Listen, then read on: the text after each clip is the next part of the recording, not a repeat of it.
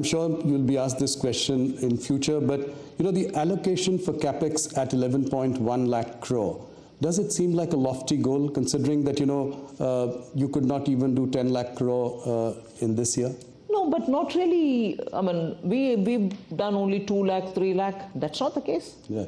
We're closer to 10. It's also because absorption has its own limits.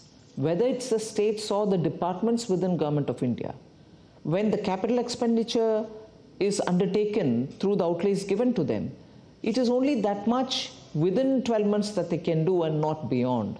So sometimes reaching the target, however ambitious it is, is to the last mile difficult within 12 months. Had we given them a few more months, they will probably even complete that.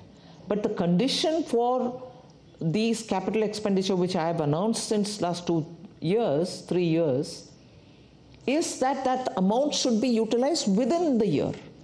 So many of the state governments which take the money, which are very good in implementing, in fact, I find states very enthusiastic in wanting to avail of this facility.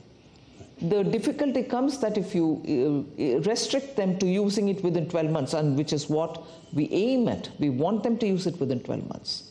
So I'm not saying restrict in that sense, but within 12 months, when you are expected to spend that money, there are times when completely utilizing it becomes difficult. They partly use it. That is why 10 lakhs you might reach 9, 9.2 and not touch 10, but achieving 9.2 within a matter of 12 is, I think, good enough.